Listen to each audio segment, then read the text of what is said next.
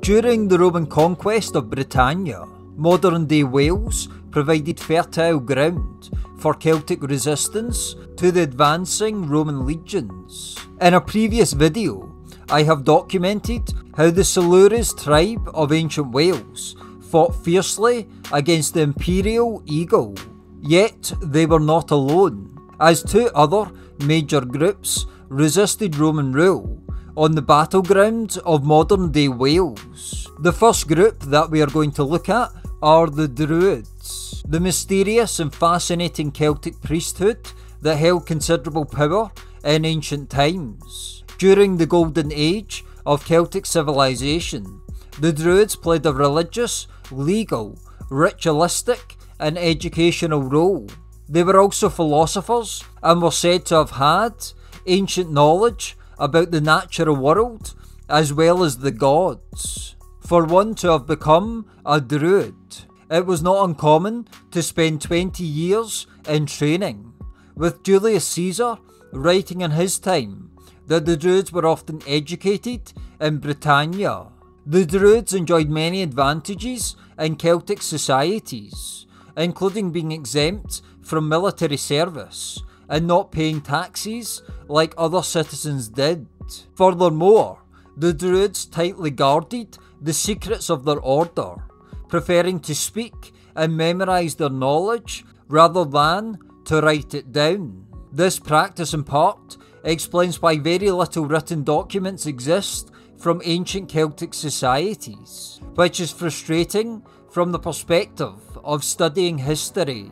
This has meant that a lot of the primary sources from the golden age of the Celts were written by Roman or Greek sources, which are hardly impartial sources, particularly given that Caesar, one of the chief sources for the Celts, wrote about the Celts as he was bloodily conquering the home of Celtic civilization, known as Gaul. On occasions when the Druids did have to write, they apparently used the Greek alphabet.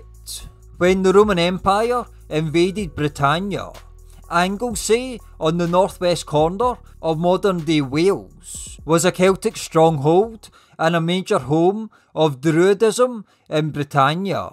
Furthermore, Anglesey became a major destination for British migrants who were fleeing from other parts of Britannia due to the Roman invasion.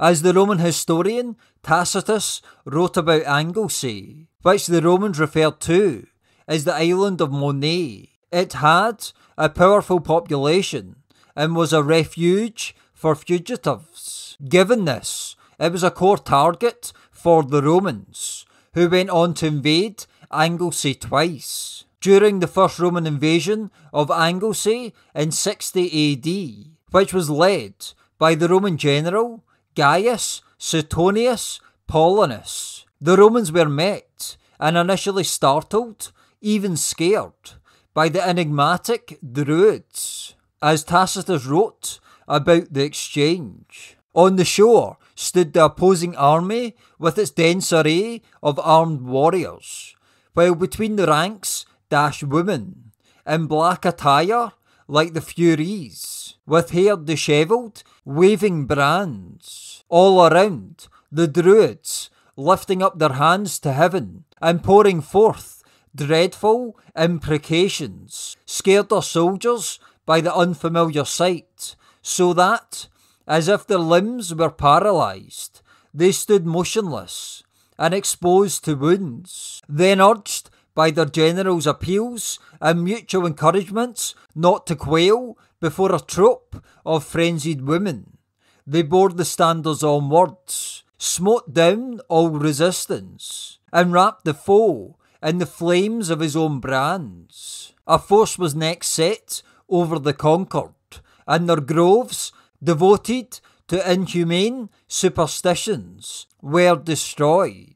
This initial invasion was halted, however, when Boudicca rebelled on the east coast of Britannia, forcing the Roman troops in Anglesey to march straight for Londinium to head off Boudicca. Almost two decades later, in 77 AD, The second Roman invasion of Anglesey took place under the Roman governor of Britannia, Gaius Julius Agricola. The Romans were successful in this campaign, and Anglesey was brought under Roman control. The other major ancient Welsh group that resisted Roman rule that we are going to focus on was a northern Welsh tribe known as the Ordovices, who were active since early on in the Roman invasion of Wales. The Romans had initially invaded Wales for a few reasons. Firstly, Wales was home to mineral deposits, including gold, copper, and lead. Secondly, Rome was responding to raids against their allies in other parts of Britannia. An early Roman campaign in Wales came around 48 AD after a Roman ally in England was attacked by the Celtic tribe of the Deceangli, who inhabited northeast Wales. In response, the Romans attacked the tribe, although we know little of the precise details of this campaign. In the initial period when Rome invaded Wales, Caractacus, also known as Caradoc, served as a major leader of the rebellion, utilising guerrilla warfare tactics. When the Roman Empire first invaded the lands of modern England, Caractacus, who was the king of the Trinovantes tribe around Essex and the Greater London area today, initially fled west to the territory of the Silures to stir up resistance after defeat in battle. From around 48 AD, the Silures fiercely resisted Roman conquest. After a few years, however, Caractacus moved north to link up with the Ordovices tribe. He served as a warlord of the Ordovices for a period and fought the Romans for years. Even decades after Caractacus was captured and sent to Rome in 51 AD, the Ordovices continued to rebel. As late as 70 AD, the Ordovices once again rose up in revolt against Roman rule, destroying nearly the whole of a squadron of allied cavalry quartered in their territory. This provoked a strong Roman response, led by Agricola, as the Roman historian Tacitus wrote, he collected a force of veterans and a small body of auxiliaries. Then, as the Ordovices would not venture to descend into the plain, he put himself in front of the ranks to inspire all with the same courage against a common danger, and led his troops up a hill. The tribe was all but exterminated. It seems that the Ordovices at least suffered heavy defeats against Rome, but they may not have been fully conquered. A mosaic map in the Forum in Rome that shows the territory of the Roman Empire does not include the northwest tribal lands of the Ordovices, indicating that they may not have been fully conquered by the Roman Empire. In general, however, Rome went on to control at least the majority of Wales until around 383 AD, yet they had to overcome fierce and persistent resistance in order to do so. Thanks for watching. Please subscribe and hit the bell to turn on notifications. You can also support this work through buymeacoffee.com and Patreon. All the links are in the description below.